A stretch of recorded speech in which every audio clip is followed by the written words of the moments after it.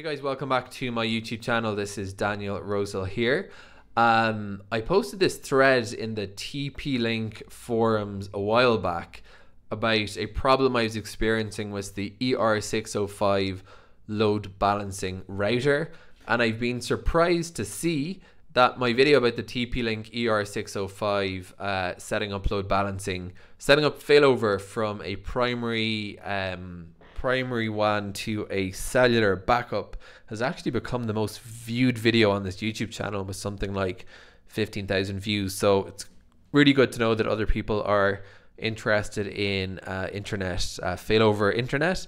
Um, in any event, I posted this thing here about the problem I was experiencing at first. I set up everything and it was working, but what was happening was that my um, my it was failing over to the backup connection even when the primary was working. So this is a title I gave this thread.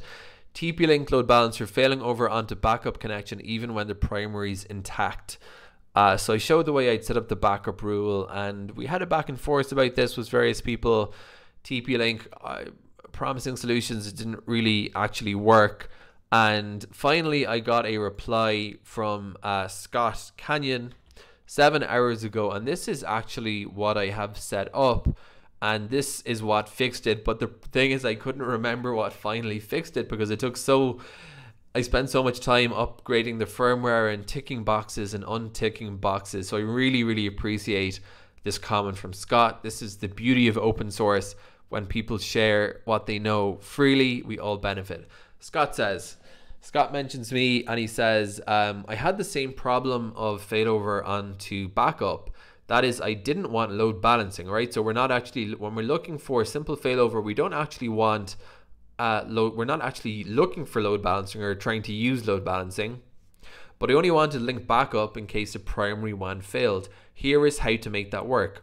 Under load balancing, basic settings, general, you must select enable load balancing. This is what the TP-Link support people kept telling me and I didn't really get it because I was like, well, I don't actually want load balancing. So Scott says this is poorly named. Indeed it is.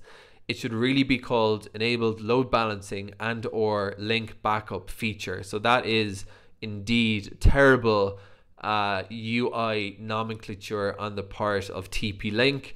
That button that you need to tick isn't just about load balancing, it's also necessary to tick that for the link backup feature. So the name change Scott suggests is a good one in my opinion.